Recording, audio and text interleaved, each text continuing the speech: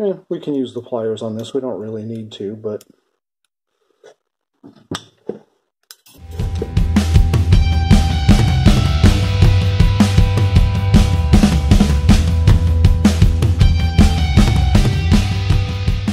Hey folks, welcome once again back to the garage. We're going to continue our work on this 5.9 Magnum build. Today we're going to look at putting the rings onto the pistons and putting the uh, pistons and connecting rods into the block itself. Just a quick side note here, you'll see I've got kind of a mix of things. I got new sealed power pistons uh, and some Mahle rings. Originally, I started out this project and I thought I was going to try to do a semi-budget build. I went on to, think, eBay and bought an engine kit because it was very inexpensive for good reason. Turns out that not all of the kit came, and then I contacted the seller, and they're like, "Oh yeah, well we'll get all that stuff out to you." Still, not all of it came. Some of the stuff was not correct. It was it was just a disaster. So I ended up just going and buying individual parts. About the only things that I think came in the original kit that are going to be of use are maybe the timing set, the oil pump, and these rod bearings. Everything else I ended up buying individually. I should have just bought all of it individually to begin with, but live and learn. At any rate, I had to have the engine bored 30 over, so I bought uh, new sealed power pistons. These are actually really nice. And took them over to the machine shop, had them pressed on.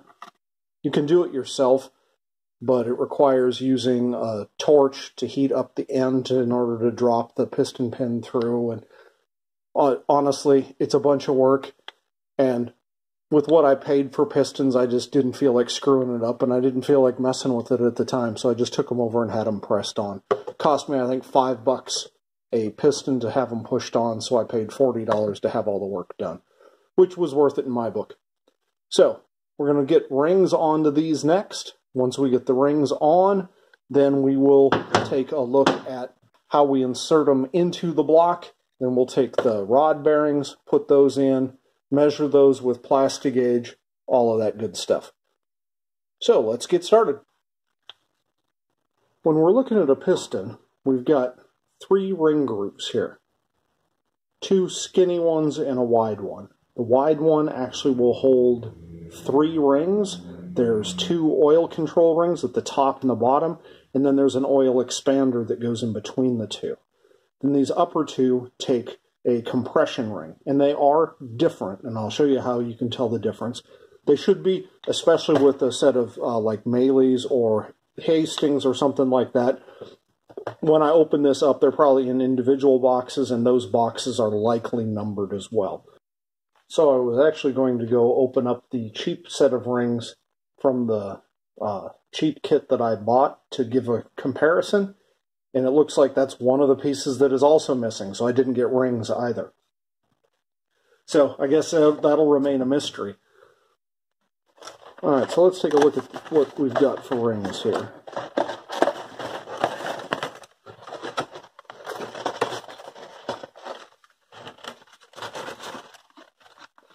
You can see, they have them marked. These are for the top groove, these are for the second groove, and then these are the bottom grooves of the oil rings. So take a couple of them out. I'll try not to mix them up. So this is a top groove, and this is a second groove. So the top groove ring, see that dot there? They've got an alignment dot. That dot goes up right here. There's a little bit of a bevel, right? So it's on the inside top of this ring. It's beveled. If we look at the second ring, see how it's got that little bit of a groove that runs all the way around? If I flip it over, it doesn't have that. It has a dot here though as well, right? oftentimes, like with a Hastings ring, one of them will be black and one of them will be a metallic color. That's the other way to tell. The metallic one, I believe, is the second one in a set of Hastings. So here's one of the pistons I took out of that motor. Now if you want to, if you're reusing your pistons, and really if you haven't bored it out, there's no reason you can't as long as the piston's still in good shape. But you want to remove and uh, replace it with new rings. And taking them out, it's pretty easy. You just grab onto a corner here and we get it up. And we kind of corkscrew it out. like that. Now, you can put the rings back in by getting the edge in there and then wrapping it around.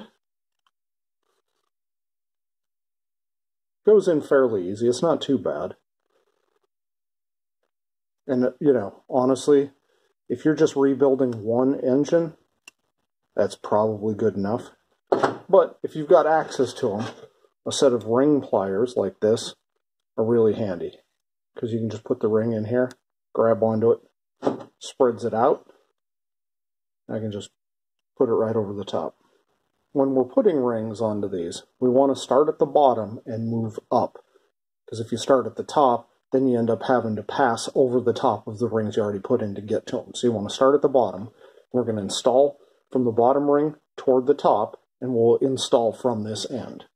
Before I start assembling, I like to have a nice clean surface here make sure that nothing gets into these. We're going to set that there. I'm going to bring out my rings. So we have the oil control rings and then the expanders. Each piston will take two of the control rings and one expander. So when we put the oil rings in, might not be obvious here, but if we take a look, see this edge right here? It's got a little bit of a, a tab sticking out, and it has them on this side too. Those, the oil control rings, the thin ones, sit on top of those.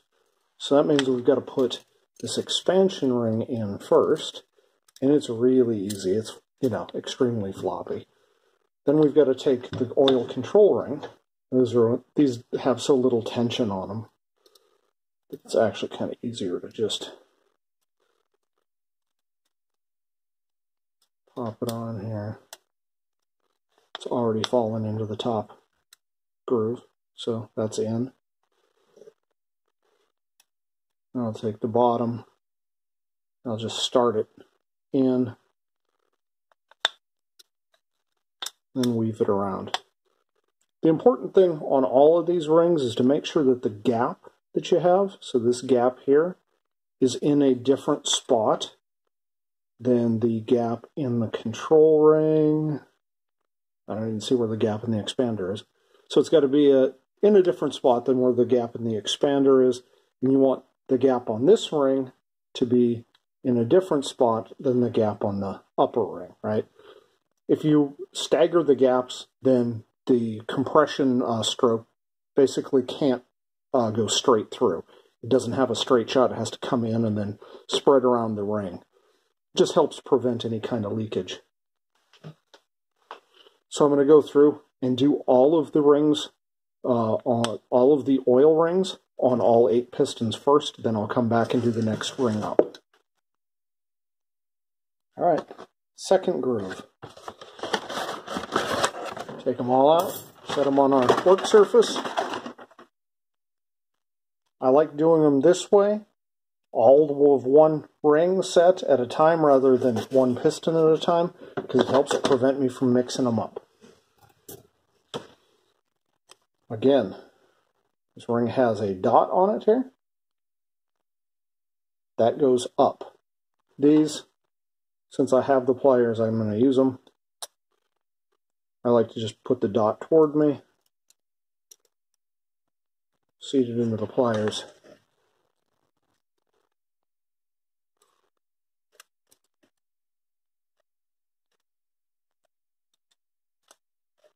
and it's in. You can see there's a whole bunch of play. There's a lot of spring to it because when it goes into the cylinder, it squeezes down like this. So that's why they're real easy, easy to put in. All right, finally, top groove.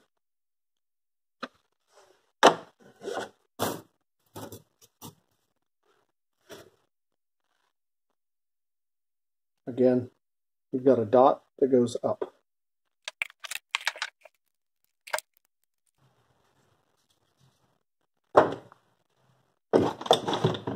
All right, all the rings are installed. So here's something interesting to note. Here's one reason, if for no other than to, if you're reusing your pistons, to always use a, a new set of rings. So if I take where this gap is and I just push it up, so we take a look at how much of the ring is sticking up here. You can see only the ring, right? Now look what happens when I do that with a new one with a new ring. Take it and I push it up. Look at how much gap there is there. So this ring is out a lot more than the other one. So the the used one is just worn. It's tired. It is, you know, it's lost spring and it is, you know, compressed in some. So it has less outward force. So it's got less ability to hold compression in the chamber and to keep oil down in the crankcase. So I mean, that's, you know, there are a lot of reasons to not reuse rings, but that's a really good one right there. It's a good example. Thanks for watching.